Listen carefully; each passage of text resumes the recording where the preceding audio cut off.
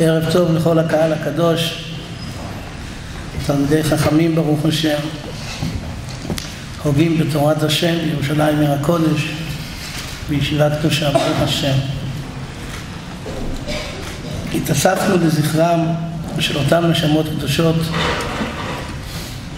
שבהשגחה פרטית בחרו בהם, בחרו בנשמות המיוחדות, במקום המיוחד, כדי להיות נקרבים כקורבן עולה היא של השם. הזמן שעובר לא יכול לאחות את הפצע, את הכאב, לקרובי המשפחה, לידידים. מנהג בני ישראל תורה מתאספים ביחד, כמו שנאמר בגמרא ביבמות, כל יום של הילולה, היו מתאספים התלמידים, מלקטים את השמועות, מנסים להפיק איזה לקח, להסיק מסקנות נכונות.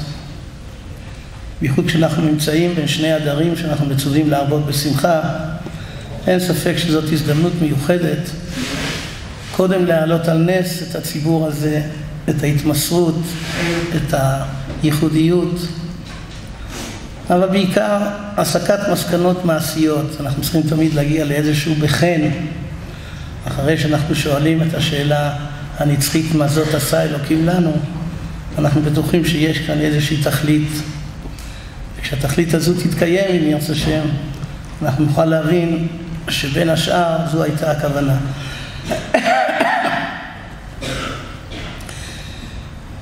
אני רוצה לצטט קטע במדרש שוחר טוב, במקומות אחרים זה נקרא מדרש תהילים, אחד מהמדרשים הקדמוניים על ספר תהילים, פרק ט"ז, נחתם לדוד שומרני כל כי חסיתי בך.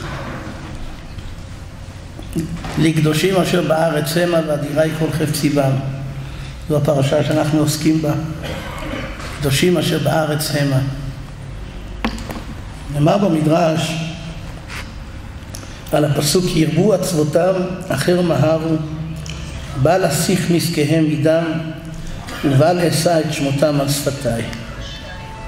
אמר דוד ריבונו של עולם הרבה עצבונות הבאת לנו הרבה עצבונות ירבו עצבותם עשית לנו הרבה דברים עצובים בחיים ודוד המלך מפרט בדורו של שמד אנשים מתו על קדושת השם. עשית לנו עצוב. אמר לו הקדוש ברוך הוא, דוד, כלום הפסידו? הקדוש ברוך הוא שואל את דוד, אתה שואל אותי, למה עשיתי לכם עצוב? אני שואל אותך בחזרה, אתה חושב שהם הפסידו ממה שקרה? אותם קדושים שמתו על קדושת השם, כלום הפסידו? בל אסיך נזקיהם מדם, דמם חביב עליי יותר מן הקורבנות. בשעה שצריכים לנסח נסחים על גבי המזבח של מעלה, כמו שהגמרא מביאה במסכת מנחות בדף ק"י, שיש מזבח בנוי למעלה, ומיכאל השר הגדול מקריב עליו קורבנות, ותוספות מביא שם בק"י במנחות, שעל זה אנחנו אומרים כל יום בתפילה, ואישי ישראל ותפילתה מהרה באהבה תקבל ברצון. אנחנו אומרים תקבל ברצון על קורבנות שקרבים כהיום הזה למעלה בשמיים. ואת מי מקריבים? נשמותיהם של צדיקים שמסרו את נפשם על קידוש השם. אנחנו מבקשים פה למטה, ואישי ישראל שלמעלה, ותפילתם שלנו למטה, תקבל ברצון. אותי לרצון תמיד עבודת ישראל עמך. אז למעלה יש מזבח בנוי, ויש מיכאל, שהוא הכהן הגדול, הוא מקריב את הקורבנות. הקדוש ברוך הוא אומר לדוד, במקום לשים נזקי יין, אני מנסח את הדם של הקורבנות.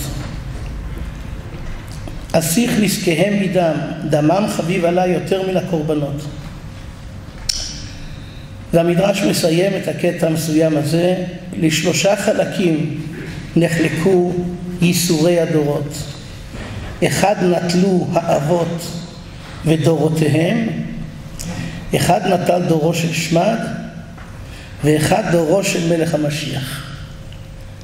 שלוש עונות של שמד עבר עם בני ישראל מתחילת התקופה של האבות ועד תקופתנו אנו. שלושה חלקים. האבות ודורותיהם, דורו של שמד, דורו של משיח. אף אחד לא מפרש, אין ביאורים על המדרש הזה. אף אחד לא מפרש את החלוקה לאותם שלושה חלקים, אף אחד לא מפרש את העניין של ניסוך דמם של קדושי ישראל במקום נזקי היין.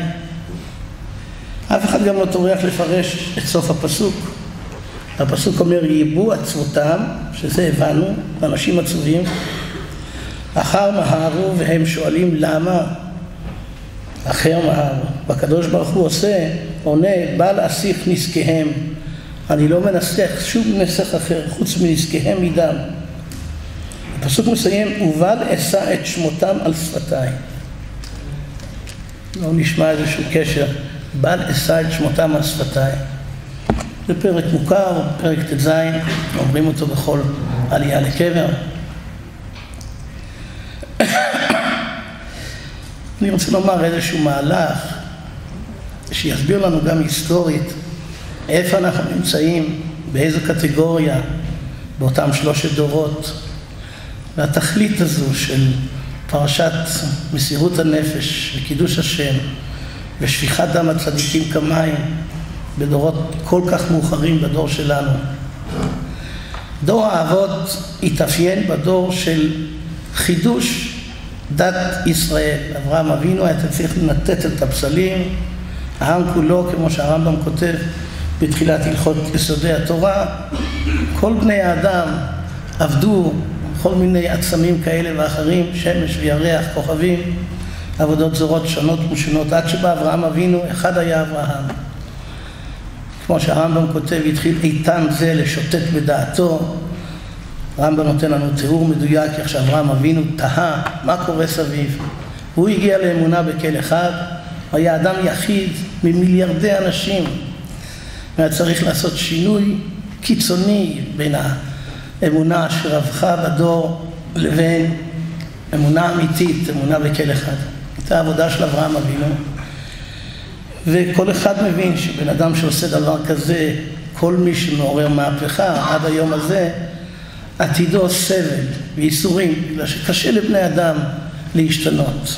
אנשים אוהבים להישען על העבר ולהישאר באותו מצב. יש שמרנות טבעית. אז אברהם אבינו סבל רדיפות. הוא עצמו הושלך לכבשן האש, בניו סבלו רדיפות. דורות הראשונים, אלה היו הרדיפות הראשונים. אלה היו רדיפות שאפשר לומר בלשון המעטה קצת מובנות, אנשים לא אוהבים את השינוי. זה הדור הראשון, דורו של אברהם ודורותיו. עד כדי של הריית בני אדם משום אמונתם. הדור השני, קוראים לו דור של שמד. דור של שמד זה דור שרוצים להעביר את היהודים על דתם במחיר החיים שלהם.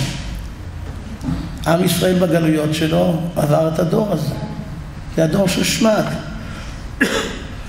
דורות, דורות אחרי כל הסיפורים של דורותם של אבותינו, אבל דורות יותר מאוחרים בזמן הנביאים, ובהמשך חורבן הבית, בהמשך גלות ספרד, אינקוויזיציה,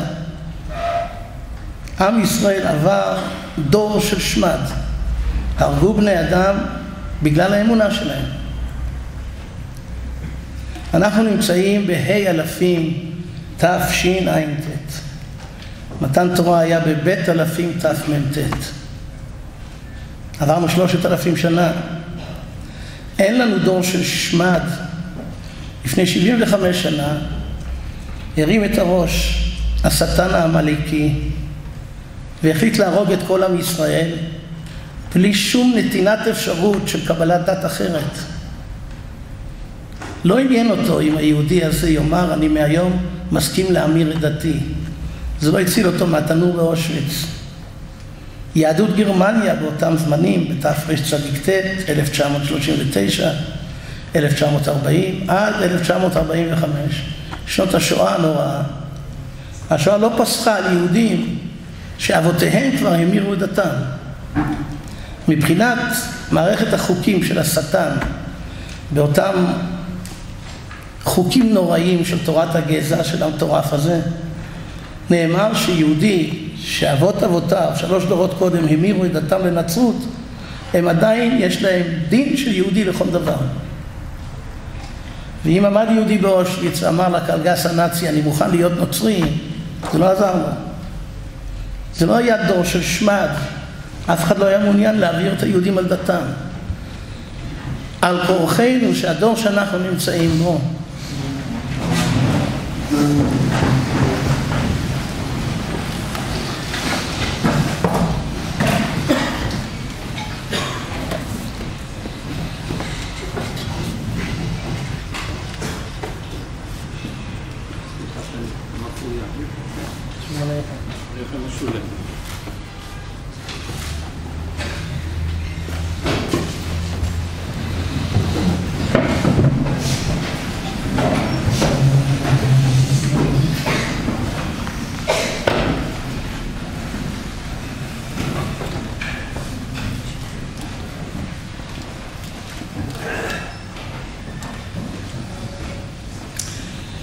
אני חוזר בקוצר המרים על המשפט שאני מנסה להסביר בדברי מדרש תהילים, מדרש שוחר טוב. שלושה חלקים נחלקו הייסורים.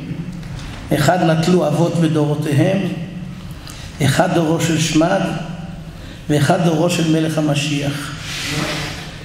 כשאנחנו מכירים את הייסורים, אפשר לומר שהתחלתם באותה מלחמה איומה, אותה שואה שנחקקה בליבות עם ישראל לפני 75 שנים. אי אפשר לקרוא לזה דור של שמד, ואי אפשר להתעלם מהייסורים, מהמיתות המשונות והאכזריות שעברו על אחינו בני ישראל. ולא ייתכן שבספר תהילים לא יהיה רמז על הדור הזה, הרי חז"ל ידעו הכל, ומחלקים את, את הדורות של הצרות שלנו לשלוש קטגוריות. אז אנחנו לא דור של אברהם אבינו ודורותיו, ואנחנו לא הדור של דור של שמד, בגלל שכמו שהסברתי, השמד לא היה עוזר לעם ישראל לפני 75 שנה להימלט מהגזירה הנוראה. על כורחנו, שזו הכוונה דורו של משיח, שבהגדרה הזו של דורו של משיח, יש את הגרעין של הסיבה לסבל שאנחנו סובלים. אנחנו יושבים פה בבית מדרש בירושלים, עיר הקודש, כל כך הרבה שנים אחרי שהבטיחו לנו, אלה שהקימו את המדינה, שהגלות תיפסק, הצהרות ייפסקו, עם ישראל ישלוט במקום, הוא יהיה בעל הבית. פעם לפעם אנחנו מקבלים לקח. הישמעאלים צמאי אדם לא נמצאים במקום של ניסיון להעביר על דת, זה לא דור של שמד. הישמעאלים צמאי אדם נמצאים במקום של רצון בלתי מוסבר לחלוטין לשפוך דם ישראל כמים. רצון בלתי מוסבר, בגלל שאין לזה שום תכלית, אין לזה שום מטרה. אם לפני 75 שנה עמד המטורף ורצה לכבוש את העולם, אז כן, כמובן שהסבל היה נורא. אבל היום אין אפילו את התכלית הזו. אף אחד לא מעלה בדעתו אם הוא מגיע ממקום כזה או אחר, ממחנה פליטים כזה או אחר, שהוא הולך לכבוש את העולם. זו מערכת שבנויה על שנאה תהומית, שנאת עולם לעם עולם, על היותנו יהודים, בלי רצון לשנות את המצב. אנחנו אמורים להישאר יהודים ולסבול מאותם רוצחים צמאי דם. ובמקום כל כך קדוש, כל כך הרבה תורה ותפילה, וכל כך הרבה רצונות טובים, התרכזו ביחד, הקירות ספוגים בתורה ובתפילה, בפלטרין של מלך, ומגיעים פראי אדם, ולוקחים את האנשים שנמצאים בפרק הראשון של החיים שלהם, ורוצחים אותם בדם קר על לא עוול בכפם. זה לא דומה לא לדור האבות, שהציבור התקומם על הדת החדשה של אברהם אבינו, זה לא דומה לדורו של שמד, אם זה בימי בית המקדש וחורבן המקדש, אם זה אחר כך, כמו שאמרנו, גלות ספרד, מי שקיבל על עצמו את הנצרות יכל להישאר בספרד. נולדו אז האנוסים, נולד המושג של האנוסים. אנשים כלפי חוץ ניסו לקנות את החיים שלהם. אנשים ויתרו להם. זה היה דור של שמד. אבל אנחנו בדור השלישי. אנחנו בדורו של משיח. וכשאנחנו בדורו של משיח אנחנו מבינים שיש כאן בתיאור של המדרש על דברי הפסוק תיאור שמעורר אותנו להבנה מה המצב, איפה אנחנו נמצאים, מה רוצים מאיתנו. אז ראינו בדברי המדרש שדוד המלך התלונן לפני הקדוש ברוך הוא, מה אתה רוצה מהילדים שלך? למה אתה מעביר אותם כזו מסכת של ייסורים? ירבו עצבותם אחר מהר, ומה אתה רוצה מהם? והקדוש ברוך הוא עונה לו, דע לך שאני לוקח את הדם של הקדושים ואני מנסח אותם על גבי המזבח למעלה. זו התכלית. מה בדיוק ענה הקדוש ברוך הוא לדוד המלך? איך הדברים מתיישבים? איך אנחנו מבינים את דברי המדרש? אנחנו מגיעים לסוף של הפסוק, כמו שאמרתי, המדרש לא עוזר לנו כדי להבין. ואל אשא את שמותם על שפתיי. את שמותם של מי? של שופכי אדם או של אלה ששפכו להם את הדם. לא עוזרים לנו מהמקורות שלנו. מקום שלא נאמר, יכול אדם להרשות לעצמו לנסות לומר משהו. כמובן בדרך אפשר. זה משהו שגם קשור לפרשה שלנו, פרשת פיקודי, פיקודי חזק. ישנה אמרה מעניינת מהחידושי ערים, מופיע בספר של הנכד שלו, שפתי צדיק. שפתי צדיק היה גיסו של אסרסמס. יש שם המון גילויים מרעישים. הוא היה תלמיד של הסבא של החידושי ערים, היה בן בנו. אז השפתי צדיק מביא בספרו קטע מגמרא מסכת בבא קמא, שהוא באמת קטע מופלא. מסכת בבא קמא בסוף פרק שעוסק בנושאים של אש, נזקי טמון באש, פרק הכונס, דף ס"ב, מופיעה גמרא משונה. כתוב שם שדוד המלך היה צריך לשתות מים, שלושת הגיבורים הביאו מים, דוד המלך לא רצה להשתמש בהם, הוא הציק אותם על גבי קרקע. הגמרא מביאה כמה הסברים על מה שקרה שם, מופיע בנביא שמואל. אז אחד מההסברים זה שדובר אז בבית המדרש בהלכה מחודשת של טמון באש והייתה שם איזושהי הנהגה של אנשים שמסרו את הנפש על דבר שהם לא היו צריכים למסור. וחז"ל מתבטאים בצורה מאוד משונה, כל המוסר נפשו על דברי תורה, אין אומרים דבר תורה משמו. כל המוסר נפשו על דברי תורה, אין אומרים דבר תורה משמו. משהו לא, לא מובן. הוא מוסר את נפשו ומענישים אותו ולא אומרים דבר תורה משמו. ויציקם לפני השם. אני לא צריך לדבר עם ציבור של תלמידי חכמים ולהסביר יותר מדי. מסכת בבא קמא היא המסכת הישיבתית הנלמדת ביותר. בטח לא פשע המנהג הלא טוב לדלג על דפים כשזה לא ממש משהו עם העץ, אז בטח למדתם את הגמרא הזו, מי שרוצה יכול להסתכל. מסכת בבא קמא בדף ס"א עמוד ב', ס"ב עמוד א'. אז אומר החידוש הערים דבר מאוד מופלא. כשבן אדם אומר חידוש תורני, אז יש לנו את הבן אדם ויש לנו את החידוש. אז אנחנו יכולים לומר בשמו את החידוש, פלוני אמר כך. יש פעמים שבן אדם מוסר את נפשו על איזשהו חידוש. וכשהוא מוסר את נפשו על איזשהו חידוש, אז הבן אדם מתלבש כולו בדמות של החידוש. הוא כבר לא נמצא שם כישות נפרדת. זה לא מישהו שאמר משהו. המישהו הזה נמצא במקום שהוא כבר לא שייך לשם שלו. הוא לא שייך למערכת האישית הפרטית שלו. כל המוסר נפשו על דבר תורה, אין אומרים דבר תורה בשמו, בגלל שאין לו כבר שם.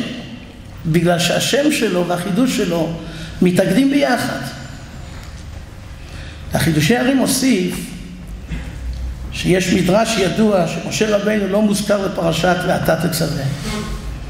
מאז שמשה רבינו נולד אין פרשה בלי שמו של משה רבינו, חוץ מפרשת תצווה.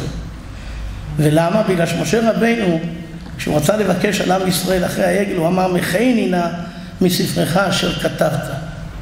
והיות וקללת חכם אפילו על תנאי מתקיימת, היו חייבים לקחת פרשה, ובפרשה הזו לא לכתוב את שמו של משה, ובזה מתקיים מה שהוא אמר מכני נא.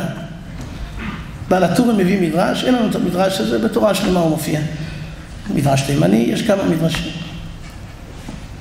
יש שאומרים למה באמת בחרו פרשת תצווה, זה אמרו ככה בדרך צחות, בחסידס פוילן. אמרו שלמעשה משה, כיוון שהוא אמר מחי נינה, היו צריכים למחות אותו מאיזה פרשה. זה כתוב פרשת כי תישא. אז כל פרשה שהגיעה אמרו, לא צריך כבר עכשיו למחוק אותו, בואו נחכה עוד פרשה. ונחכה עוד פרשה, עוד פרשה, עד שהגיעה שנה אחרי זה פרשת תצווה, שזו הפרשה האחרונה לפני כי תישא, אז שם היו צריכים למחות את שמו. אבל בכל מקרה, משה רבינו אמר מחי נינה, אומר החידושי ערים, זה לא עונש. אם יכול מנהיג לומר מחי נינה בשביל עם ישראל, אז הוא כבר לא משה רבינו שאומר משהו. הוא הופך להיות לתלמיד חכם שמוסר את נפשו על חידוש, אז אין כבר מישהו שאומר משהו. המישהו והמשהו זה כבר דבר אחד. אז כתוב ואתה תצווה, נשאל כל ילד, מי זה ואתה? משה. אבל לא כתוב השם של משה לא כעונש, אלא לא צריך, בגלל שמשה הפך להיות בפרשת תצווה.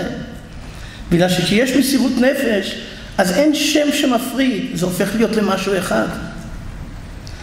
אולי זו הכוונה בפסוק. אם מדברים על דורות כאלה של דם ישראל שנשפך כמים על ידי קדושים, והקדוש ברוך הוא אומר, אני מנסח את הדם שלהם, הם הקורבנות שלי, הם עולים על גבי המזבח גבוה כל כך, אז אנחנו מבינים שאותם אנשים נמצאים בדרגה כל כך גבוהה, שעל זה נאמר, ובל אשא את שמותם על שפתיי. אני כבר לא נוקב בשם, בגלל שאותם אנשים התאחדו עם הפעילות הגבוהה שלהם עד שמחי נא, בל אשא את שמותם על שפתיי. יש לנו לדאבוננו הרב המון קדושים והמון הרוגים שנהרגו בגלל שהם יהודים, בעיקר על ידי צמאי אדם, אבל גם בעולם כולו. האנטישמיות מרימה ראש. בכל מקום ומקום איפה שיש יהודים, התופעה הזאת קיימת, והיא יוצרת מערכת של נרדפות לעם הזה. אחרי כל כך הרבה שנים, עם מקום שעם ישראל יש לו יבשת ששייכת לו ברב או במעט. ועדיין דם ישראל נשפך כמים משום אותו עניין של קטגוריה חדשה, דורו של משיח. רק על הקדוש ברוך הוא יש לו את החשבון שלו, כמה דם צריך להישפך כדי שמשיח יבוא. אבל זה דם עם תכלית. זה דם שמביא משיח. זו הקטגוריה השלישית. ואת הדם הזה מנסחים על גבי המזבח, בגלל שכאשר דבר קרב על גבי המזבח, הוא מגיע לתכליתו. והוא לא רק מגיע לתכליתו, אלא כל מה שקורה בבית המקדש מצדיק את ההוויה של הדבר הזה. כמו שנאמר במדרש, כל הזהב העשוי למלאכה. כל הזהב נעשה רק כדי שיהיה במשכן.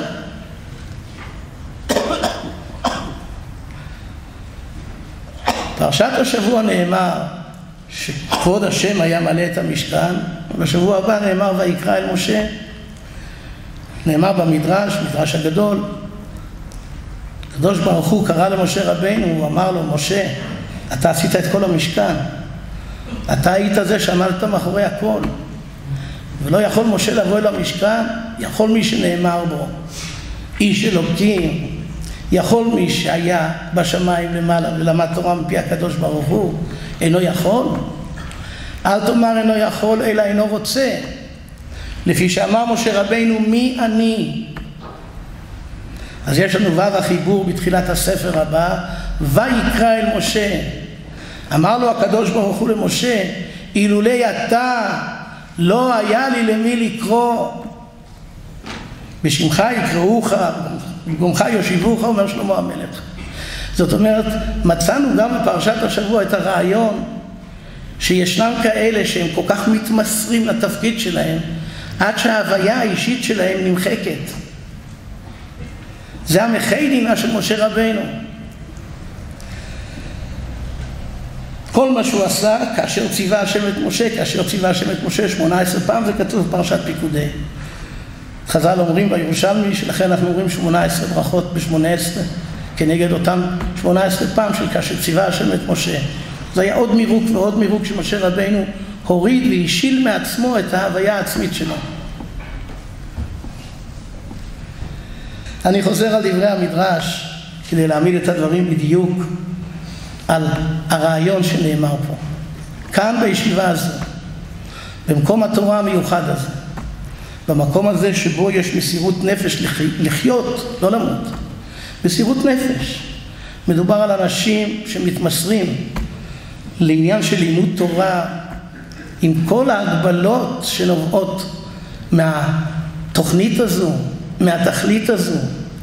יש כאן אנשים צעירים שמשליכים את כל אבלי העולם הזה ונמצאים כדי לדבוק שהם יהיו משהו דווקא נפשי אחריך. ברוך השם, המקום הזה הוא לא מהיום ולא מאתמול. יסודתו בהררי קודש. מדובר בעשרות שנים של יגיעה ושל לימוד, עם אהבת ישראל ועם תכלית כל כך מיוחדת. בא השונא והחליט להעלות את המוות בחלון של בית המדרש הזה. ולא סתם, אלא בזמן שאותם נערים קדושים ישבו ולמדו והגו בתורת משה. השתעשעו בדברי תורה כשהדבר האסון הזה קרה. עברו כך וכך שנים, אנחנו מתאספים שוב.